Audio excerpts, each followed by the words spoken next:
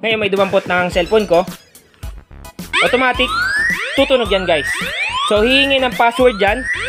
Ang tanging makapagbukas lang ng password niyan is tayo. Kasi nga tayo yung gumawa ng pin. Ipagpalagay na natin guys na nag-charge kayo sa public area. Ngayon guys, subukan natin tanggalin. Kunyari may kumuha ng cellphone natin. So itanggalin natin yung charger. Automatic guys, mag-a-alarm yung phone mo. Ibig sabihin nun guys, malalaman mo na may humugot o tumanggal ng charger sa phone mo. Pag may humawak niyan, automatic, tutunog at mag-a-alarm yan. Yung nakakuha niyan is magugulat. Kasi nga tutunog yan na tutunog. Hindi niya yan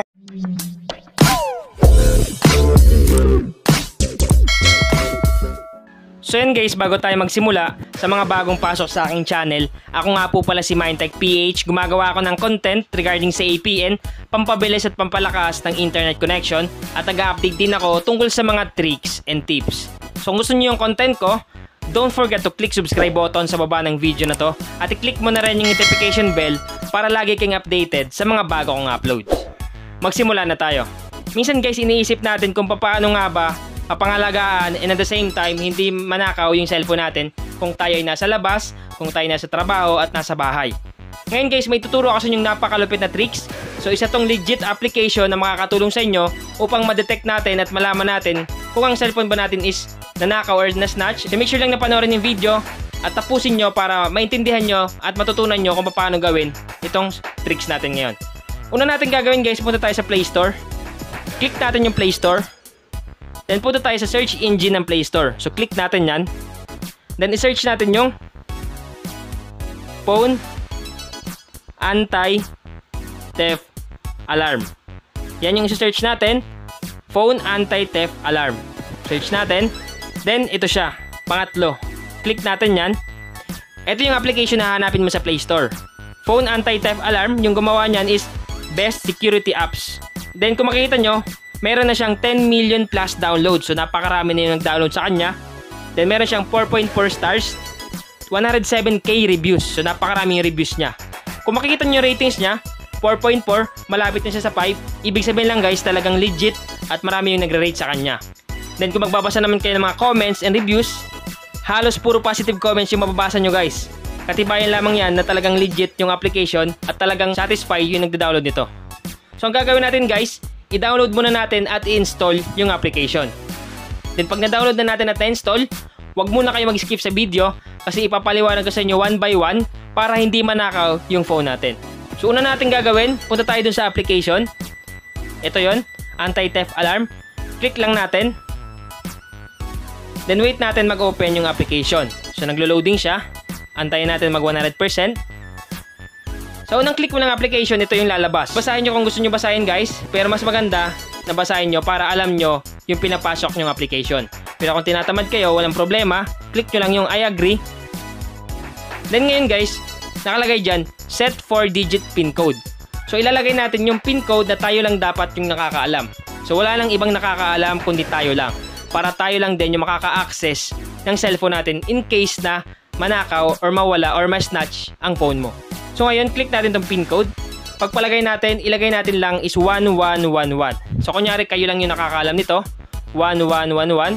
Click save. Then dito kayo madedirekta.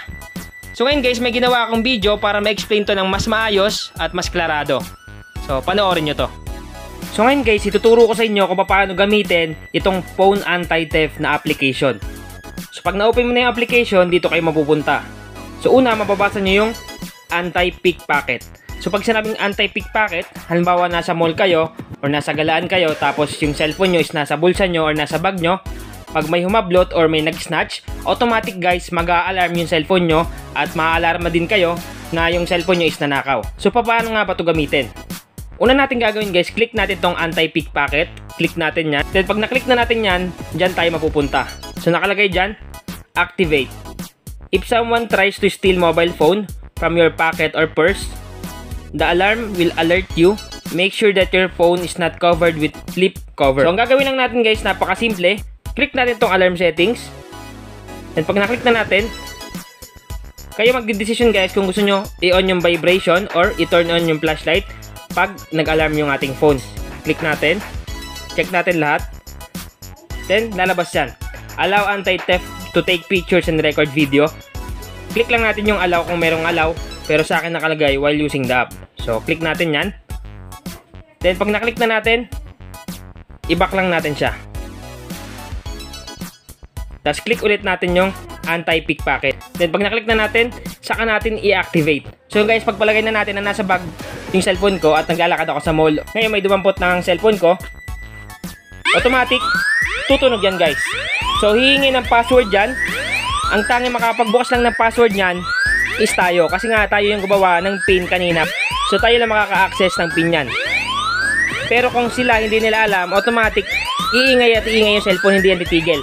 Ngayon, yung kumuha ng cellphone mo, kung hindi niya alam yung pin, hindi niya matuturn off yung alarm sa cellphone mo. Ang mangyari nun is ma-alarma lahat kung sino man yung nasa paligid mo, malalaman nila na kinuha yung cellphone mo. Pumunta naman tayo sa charge removal alert.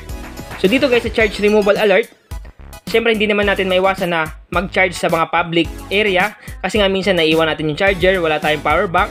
So kailangan natin mag-charge ng cellphone. So minsan nag-charge tayo sa 7-Eleven, or sa mga kahit anong lugar na pwede mag-charge. Ang napakalupit dito guys, di ba nag-charge kayo? Pag once na may nagnakaw ng cellphone nyo na naka-charge, pag tinanggal niya yung charger sa cellphone, automatic mag-a-alarm siya. So doon pa lang guys, ma-alarm ka kagad na yung cellphone mo is nawawala or may kumuha. So paano nga ba ito i-set up? I-click lang natin tong charger removal alert. So yun guys, pag naklik na natin yon dito tayo mapupunta. Nakalagay dyan, activate. When phone is removed from charging, a loud ring will alert you. The ringing will stop with a secret pin code. Katulad ng sinabi ko kanina guys, yung pin code is tayo lang yung nakakaalam nun kasi tayo yung gagawa nun. Pagka-open na pagka-open pa lang ng application, hihingi ka agad ng code kung ano yung dapat natin ilagay. Ngayon, tayo lang nakakaalam. So pag hindi nila alam, automatic hindi titigil yung pag-alarm ng cellphone kung may kumuha ng phone mo habang china-charge mo. Ang gagawin natin guys, i-click natin tong alarm settings. Then, kung gusto mo i-vibrate or i-turn on flashlight, okay lang. So, kahit anong gusto nyo. So, ngayon, back lang natin. Pag na-back na natin guys, click natin ulit yung charger removal alert. Then, i-on natin or i-activate. So, click natin tong activate. Then, sabi dito, connect charger. Please connect your charger first. So, ngayon guys, i-connect ko muna yung charger ko. So, pagpalagay natin guys na nasa public area tayo, or kahit saang lugar sa public na nakikicharge tayo, ano ba, chinarge mo na, yan yung lalabas app overlay permission is required for anti-theft to overlay on other apps. Click OK. Then, lalabas dyan yung display over other apps.